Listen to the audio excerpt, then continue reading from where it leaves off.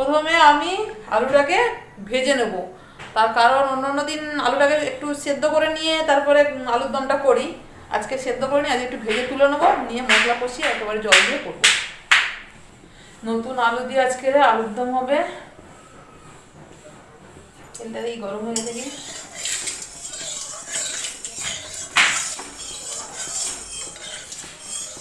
আমি এবার আলুটাকে একটু ভালো করে ভেজে নিই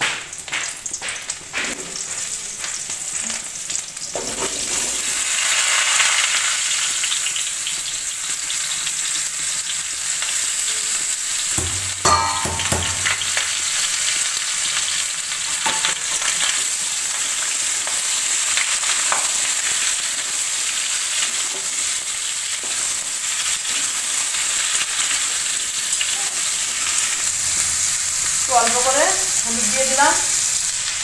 তাহলে একটু দেখতে ভালো লাগবে না সাদা সাদা হয়ে থাকবে।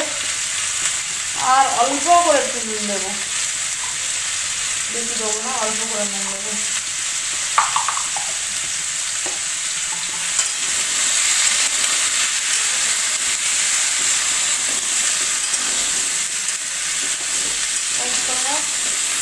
হ্যাঁ? এখন আমরা আলুটা ভেজে নিয়েছি। এবার আমি আলুটাকে ভেজে নেব। কড়াইয়ের মধ্যে আবার, ওই কড়াইয়ের মধ্যে আবার একটু তেল দিয়ে দিলাম।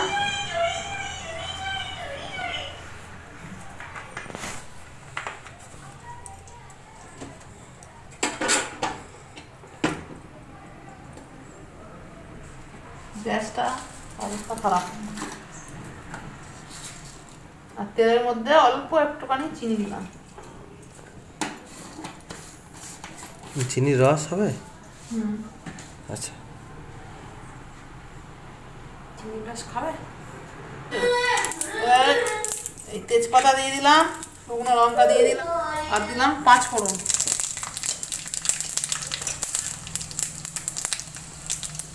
এবারে এর মধ্যে পেঁয়াজ দিয়ে দিচ্ছি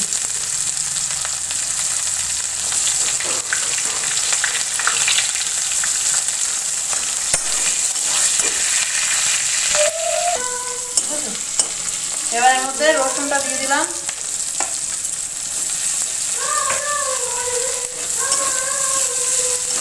রসুনটা একটু ভালো করে এবারে কষে নিই। রসুনটা লাল লাল হয়ে গেছে। এবারে আমি এর মধ্যে একটু টমেটো দিয়ে দিলাম। গ্যাসটা কমিয়ে দিই। আস্তে আস্তে এটা করছি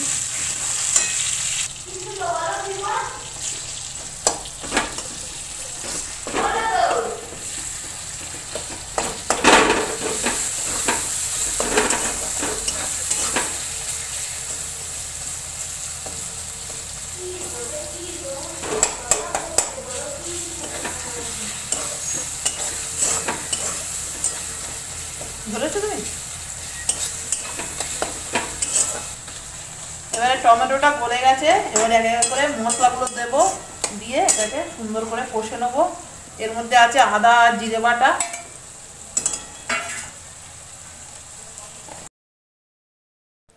এবার এর মধ্যে দিয়ে দিলাম একটু হলুদের গুঁড়ো।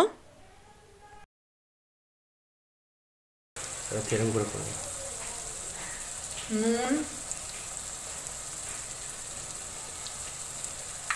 কী দিলে হলুদের গুঁড়ো নুন আচ্ছা হলুদের গুঁড়ো দিয়েছে নুন দিয়েছে। লঙ্কার গুঁড়ো। লঙ্কার গুঁড়ো।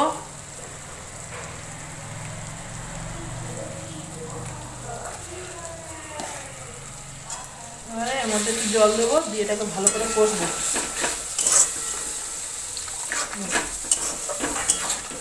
একটু ধীরে ধীরে কষবেন অল্প আছে দেখবেন ধীরে ধীরে কালারটা চলে আসবে।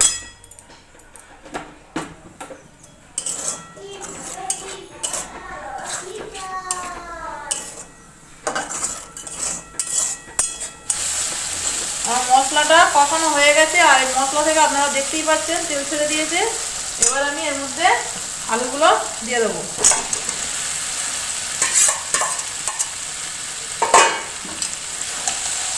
দিয়ে এইবার এটাকে ভালো করে কষবো।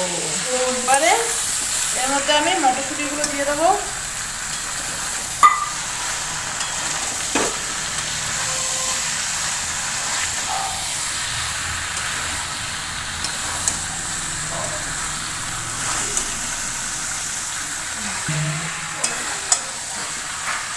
আবার এবার আমি এতে জল দিয়ে দেবো।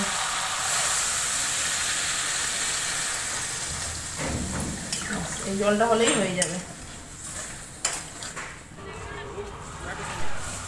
এখানে এখন এরা বাপ বেটা মিলে ব্যানার টাঙাচ্ছে